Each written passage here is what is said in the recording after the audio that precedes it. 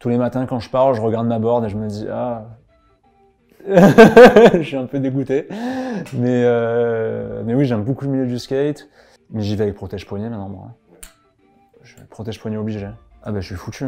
Justement, j'étais en train de voir pour la faire assurer, là. Ils m'ont demandé, euh, mon comptable, pour faire assurer ma main, quoi. Bah ouais, si je me pète la main, euh, la, société... Genre, je suis foutu, quoi, j'ai pas de... Salut, c'est Zombie Tier, je suis là pour le Don't Touch My Tattooer de GQ.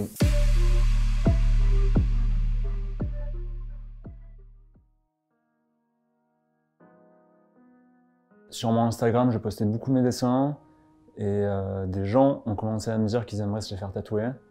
Et c'est comme ça que je me suis mis au tatou en fait. À la base, je faisais ça en dehors de mes heures de boulot euh, en agence. Je travaillais en agence de publicité dans le secteur luxe. Et euh, petit à petit, j'ai quitté l'agence et là, je viens d'ouvrir mon propre salon. Mon travail en agence m'a pas mal aidé parce que ça t'apprend à gérer ta communication, ton image et à, en mettre, en, mettre en avant euh, ton travail sur les réseaux sociaux. J'ai appris le tatouage tout seul chez moi et ensuite j'ai rencontré euh, des gens dans le tatou qui m'ont donné beaucoup de conseils. J'ai commencé à tatouer sur une banane, ensuite je suis passé à l'orange, ensuite je suis passé au pamplemousse et puis pour finir je suis passé à ma jambe. Euh, c'était une dent qui est juste là. Elle est un peu épaisse justement comme c'était mon premier tatou.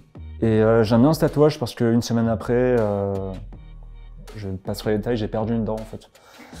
Donc, et j'ai dû aller me faire un, comment on appelle ça, une couronne. Donc voilà. Non, bah je sais pas, peut-être karma, je sais pas. du coup, je pars du principe que c'est celle que j'ai perdue peut-être. Mes deux premiers clients, c'était mon meilleur ami, à qui j'ai fait une dent aussi sur le bras. Et euh, une autre personne qui est devenue l'un de mes meilleurs amis, euh, Yugnat, à qui euh, j'ai fait une lune euh, sur l'épaule. Se tatouer tout seul, ça peut être compliqué, mais ça dépend de l'endroit. Si c'est la jambe, ça va, mais je me suis tatoué tout seul le bras, euh, et c'est beaucoup plus dur de tendre la peau. euh. Enfin voilà que j'ai fusé sur mon tatou en me le faisant sur le bras parce que je pouvais pas tendre ma peau. euh.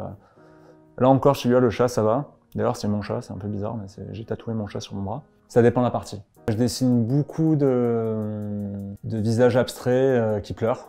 C'est devenu un peu ma marque de fabrique, ce type de visage abstrait avec des larmes. J'ai beaucoup de larmes dans mes, dans mes visuels. Et euh, zombie, euh, bah déjà parce que j'ai tout le temps des cernes en fait, donc je ressemble à un zombie tout le temps. C'est de mes principales, euh, l'un- de mes principaux, euh, comment dire, caractères, c'est que j'ai tout le temps des cernes, donc je trouvais que ça correspondait bien. Je définirais mon style comme du minimalisme, du, fine line, plutôt de la ligne fine et des choses très épurées. Oui, je m'inspire pas mal de peintres et de peintures contemporaines. Euh, J'adore Matisse, euh, Jean Cocteau bien évidemment. J'aime aussi beaucoup m'inspirer de peintures euh, très classiques et les remettre à ma sauce juste seulement en ligne et en un peu plus épuré en fait. J'ai toujours dessiné en ligne sur le papier. J'ai jamais vraiment aimé le remplissage ou, ou, le, ou le pointillisme. Et c'est vrai que ça me rappelle le travail de Kissaring qui travaillait avec la ligne et assez rapide.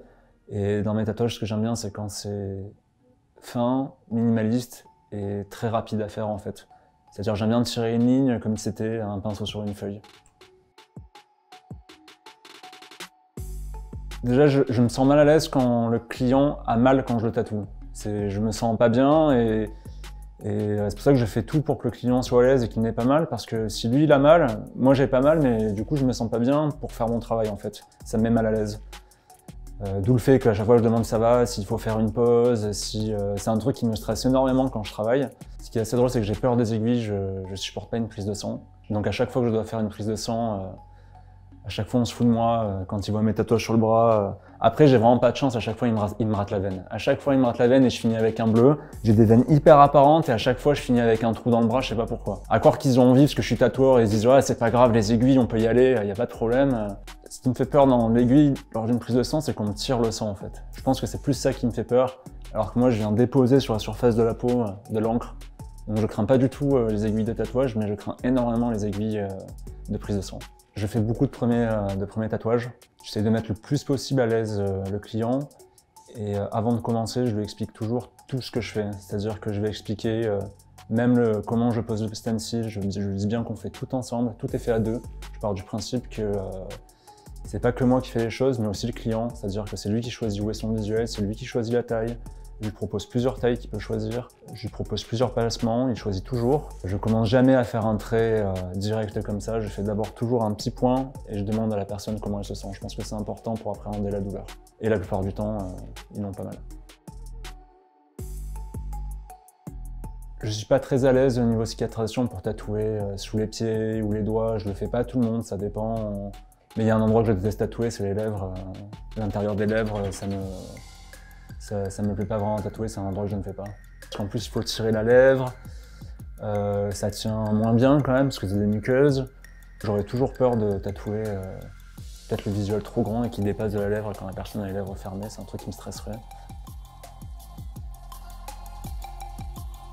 J'ai skaté pendant euh, pas mal de temps. Euh, là actuellement je peux plus trop parce que j'ai le dos euh, vraiment abîmé. J'ai monté une marque de skateboard donc le magasin en fait est complètement lié à cette marque qui s'appelle Baka. Et le studio Tattoo est aussi un lieu où on peut acheter des vêtements et, des planches de skateboard. Tous les matins quand je pars, je regarde ma board et je me dis ah je suis un peu dégoûté. Mais, mais oui, j'aime beaucoup le milieu du skate. Mais j'y vais avec protège-poignet maintenant, moi. Protège-poignet obligé. Ah bah je suis foutu. Justement, j'étais en train de voir pour la faire assurer, là. Ils m'ont demandé, à mon comptable, pour faire assurer ma main, quoi. Bah ouais, si je me pète la main, euh, euh, la, société... Euh. Genre, je suis foutu, quoi, j'ai pas de... Je pense que oui, les tatoueurs sont des artistes, surtout aujourd'hui où beaucoup de tatoueurs ont un style d'illustration à la base et ils en font du tatouage. j'ai du mal à expliquer effectivement que les, que les tatoueurs sont devenus un peu des, des stars, même pour certains des rockstars. C'est vrai que c'est un truc que j'ai du mal à, percevoir. C'est vrai que dernièrement j'ai eu beaucoup de visibilité et c'est pas quelque chose que je que j'appréhende de façon simple en fait. C'est euh, vrai que euh, qui m'a tatoué lui aussi un smiley sur mon genou, je sais pas si on va pouvoir le voir. En fait j'ai une nouvelle blague, c'est que mes meilleurs potes me font des smileys sur les jambes. Donc là il m'a fait ce magnifique smiley, il en est très fier. Je pense que le métier aujourd'hui est un peu différent et qu'il a évolué justement avec les réseaux sociaux. Il y a plus de visibilité. Avant, j'ai l'impression qu'il fallait euh, vraiment être euh, dans le milieu du tatouage, faire un apprentissage très long dans un shop.